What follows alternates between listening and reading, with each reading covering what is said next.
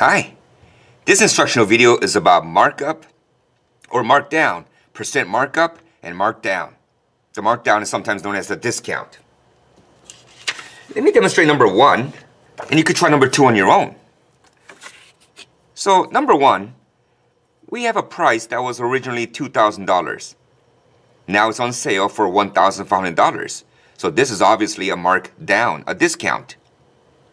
Some business would do that to attract the customers or to maybe get rid of the inventory.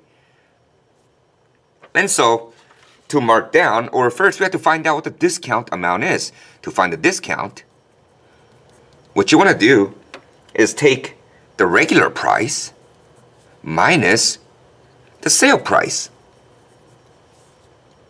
So in this case, the discount is regular price, which was $2,000, minus the sale price, which is 1500 So the actual discount is $500. Oh, that's a huge discount. So what you do is then, you take the discount amount and you divide that by the original base, the original amount. And that'll give you the percent discount. So in this case, the discount amount is 500, and you're going to divide that by the original amount, which was 2,000. And of course, if I use the base 10 rule, I can knock out the two zeros from the numerator and do the same with the denominator. I have 5 over 20. I teach the students to find the quotient by saying, take the top number and put it inside. So we get 5 divided by 20. Does 20 go into 5? No. So put a 0 and a decimal on top. Does 20 go into 5? Two times. And 20 goes into 100 five times. And 0.25 is a decimal. To make that into a percent, you move it twice to the right, it becomes 25%. And that is a discount or the markdown for this problem. So why don't you try number two? All right. So now numbers are getting a little fuzzy here. so, and we're talking about money. I don't like to make mistakes when it comes to money or running a business. So in this case, what I would have done is, you guessed it, use the calculator. Well, so in this case, if I follow the same pattern, what you want to do is determine the discount amount, which is the regular price minus the sale price. So let's show the work. So it is discount is the regular price minus the sale price. Making sure I don't make a mistake. 153 minus 99 is $54. So I'm getting a discount of $54. That's a good discount. So now I have to find a percent of the discount because the entire concept this lesson is about percent.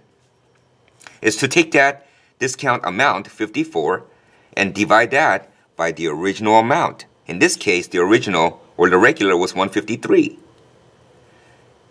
Thank heavens we have a calculator to determine that one. So we get 54 divided by 153. My calculator says if I round off to the nearest hundredth, well, how about 10 thousandths? I get 0.3529. And to make that into a percent, I just move the decimal to the right twice. 1, 2. I get 35.29%. So just over 35% discount. Okay? Just make sure your teacher says it's okay to use the calculator. As long as you show the work, you're understanding the concept. Okay? So now let's move on to what if instead of a discount, for example, if you run a business, let's say you want to buy, you want to sell skateboards. You want to sell totally assembled skateboards. So you buy it from another country or a manufacturer on a wholesale price. That's what the manufacturer charges you. So you buy it from them. It's not 35 cents, of course.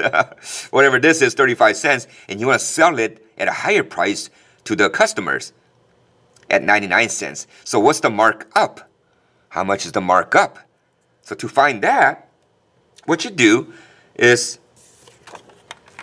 in this case, to determine the markup this time, you have to take the retail price, what you're charging the customer, minus what it's costing you. The wholesale price.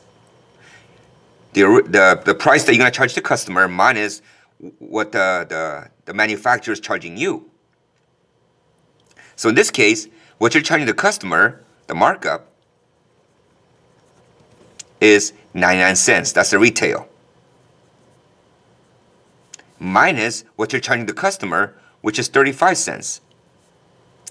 I don't need a calculator for that. 99 cents minus 35 cents turns out to be 64 cents. So now what do you do with that markup? Well, you take that markup now, amount, to find the percent, that is. You take that markup and divide it by the wholesale. What you paid originally. Because what you paid originally, okay, you add up the markup to it. So you're going to multiply the quotient. So in this case, so markup was 34. Whoops, wrong section. I'm sorry. You're supposed to do this one. Scratch that, literally. So your markup was 64 cents.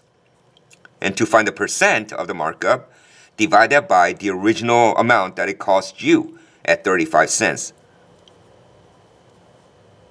Okay? So now, you use your calculator because I don't want to make a mistake when it comes to money. 0.64 or 0.64 divided by 0.35 or 0.35, you get 1.828 rounded up to the, I don't know, the thousands place, I get 6. And if you make that to a percent, that is going to be 1, 2 to the right. So 182.86%. Wow! 182% you more than double the original amount added on and charge the customer for it. Here, why don't you try number four on your own then? All right, so you said to find the markup, I have to first take what I'm charging the customers, $34.99, minus what it cost me to get that, which is $24.99.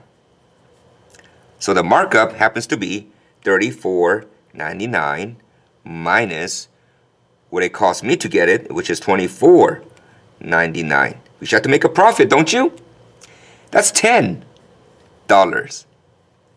You're adding on $10 to what it cost you to get it, and you're charging it to the customer, so you make a profit of 100 Well, not really a profit, but you can use that to pay for other costs.